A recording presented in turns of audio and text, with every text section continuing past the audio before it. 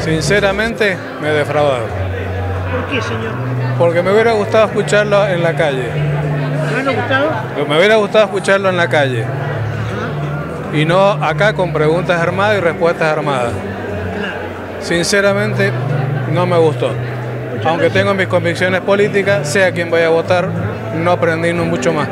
Eh, muy positivo, muy positivo escuchar a cada uno de los candidatos en sus posturas, en sus definiciones, en, en sus pertenencias partidarias. Digo, quedó muy claro que Suárez es parte del gobierno de Macri, que más allá de los intentos que haga, ha llevado a Mendoza una política clara y en consonancia con cada una de las medidas de ajuste de Macri, y eso quedó en claro este, en este debate. Y después, bueno, la solidez de, Anabel Fernández Agasti, que, que ha demostrado la vocación concreta por gobernar Mendoza y sacar adelante una provincia que, que realmente la van a dejar en una situación muy crítica.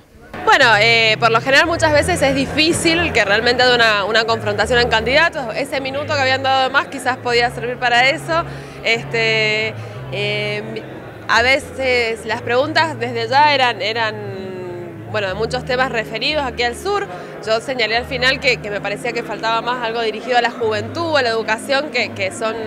Eh, que no son, bueno, los sectores que más afectados se ven, ¿no? Los chicos cuando vos les preguntás de qué van a trabajar y bueno, es un, realmente un problema pensar en su futuro. Entonces, bueno, esa, esa parte podría haber estado, pero después, bueno, también fue interesante esto, este, un poco largo, pero bueno, interesante todos los temas que se tocaron y bueno, que cada candidato pudo dar su punto de vista, rebatir. Y bueno, lo que yo siempre digo, que en los debates sería bueno atrás tener una especie de, de cámara, más, de pantalla mágica que diga lo que efectivamente han hecho antes, más que porque uno escucha que hablan mucho. Pero bueno, estuvo bueno.